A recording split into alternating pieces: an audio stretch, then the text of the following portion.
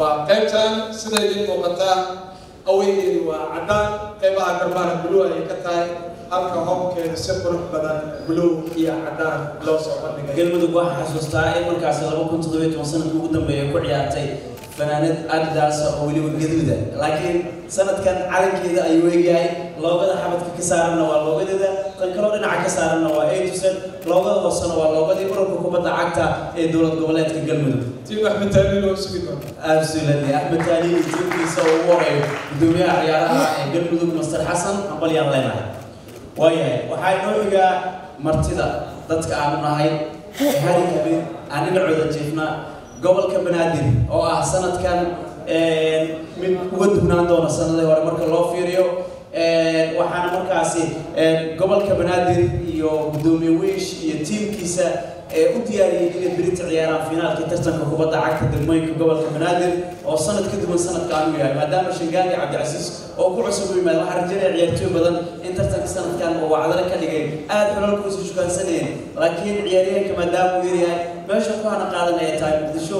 Ciyaaryahanka cabdicasiis degan waxuu ku hana qaaday degmada cabdicasiis kan shangaani deganna shangaani ayuu ku qaaday. Sidaas darteed waxaa rajaynaya gobolka banaadir ee deemaha dhanka koobnaanta u imaaday in sanadkan ay baabi'in doonaan. Waa tahay sida idiin muuqataa hoomkii aweyga waa sida idiin muuqataa caddaan iyo buluug ayay ka koobnaan doonaan iyadoo midabka guduudkana qayb ka mid ah fanaanada garabka iyo qaybta caloosha mikilida ay midabka garabka ka saaran waa midabka calanka weyn ee gobolka banaadir gobolka leeyahay. Halka markaasi loogada gobolka ee ururka kubadda cagta gobolka banaadir loogadooda ay tahay loogada markaasi ka saaran qaybta geeska etusadna dhinaca kale ay ka saaran tahay. Sidaas ay ku koobnaan doonaa dhanka markaasi aweyga ah ee hoomka ayaan tegaynaa aweyg waaye ee gobolka banaadir. Hoomka hoomka wuxuu noqon doonaa blue tiqa waa blue midabka calanka u eg. Sidoo kale qaybta qaybta buluuga tiqda oo isla markaa calanka gobolka banaadir. Midabkan ayay ku ciyaari doontaa kooxda gobolka banaadir oo uu hogaaminaya sanadkan. Daadir amiin cali daada iyo tiimkiisa daayarta u badan. Ambalyaan leenahay soo sidoo kale macallimiintii hore u soo leeyihiin goobta aad iyo aad.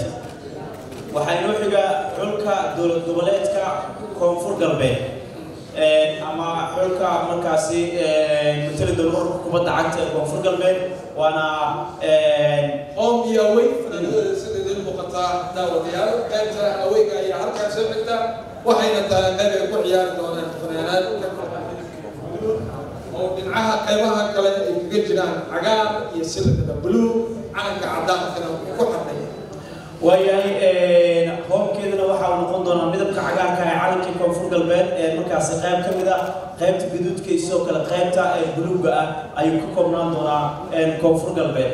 Koonfur galbeed ayaana markaasi dhankan ku ciyaari doonta macalin iyo tiimkiisana waxaan leeyahay soo dhawaada hambalyo gulayaan rajinaya xulka xiga waa xulka guulaystayaasha tartankii ugu dambeeyay ee xulka dowlad goboleedka jubbaland maroodiyaasha waradayaasha waa nimeystooda sooma aad iyo aad. Sida idiin muuqata daawadayaal qaybta aweyga ayaa halkan soo xiga waxayna tahay midab ka kooban cagaar iyadoo ay ku jiraan midabo kale oo caddaana qaybaha kuleetiga iyo garbaha sidoo kale qaybo kale ayay leedahay oo caddaan buluug iyo jaalle. Jubbaland hoomkeeda waxa uu noqon doonaa midabka baluuga lagu daray caddaan iyo weliba loo geeya loogada dowlad goboleedka jubbaland waxaan rajaynayaa in markaasi ay u bilaaban doonto waqti adag ama waddo adag oo ay ku difaacan doonaan tartankii ugu dambeeyay ay qaadeen. Gudoomiye tima cadde master habi master cabdiqaadir oo caawa ka joogaana waxaan leeyahay hambalyo guul ayaan u rajaynayaa. Xulka ugu dambeeyana waa puntland oo ka mid ah xulalka sanadkan ka qaybgalaya tartanka maamul goboleedyada iyo gobolka banaadir waxa uu ku ciyaari doonaa laba qaybood oo kala home iyo awey. Marka la fiiriyo aweyga ayaa dhinacan jira wuxuuna ka koobnaan doonaa midabka cagaarka oo lagu daray midab caddaan iyo buluug oo saddex dhinac kaga jira. Hadday noqon lahayd qaybta gacmaha iyo qaybta kuleetigisa hoomkeedana waxa uu noqon doonaa midabka buluuga loo geeya caddaan loo geeya cagaar. Oo ka kooban calanka dowlad goboleedka puntland waxaana markaasi u bilaaban doonaa waddo adag oo iyana ugu dagaalami doonaan sanad ciyaareedkan sidii ee markaasi ugu guuleysan lahaayeen tartankan. Waayahay waa sida. Waa lixda kooxood ay ka qayb geli doonaa tartanka maaliyadaha hoomka iyo aweyga shirkadda a to sports house ayaana sida quruxda badan u soo naqshadaysay lana filayo sanadkan inay qayb dagaalka waan rajeynayaa inuu noqon doono sanad ka xiiso badan sanadihii hore islamarkaana sida looga bartayba tartamada kubadda cagta ujiyo cusub la arki doono. Soomaalida wejiyada cusub aada u jeceshahay. Marka loo fiiriyo soomaalida waa dad aada u jecel markasta weji cusub inuu soo horisaa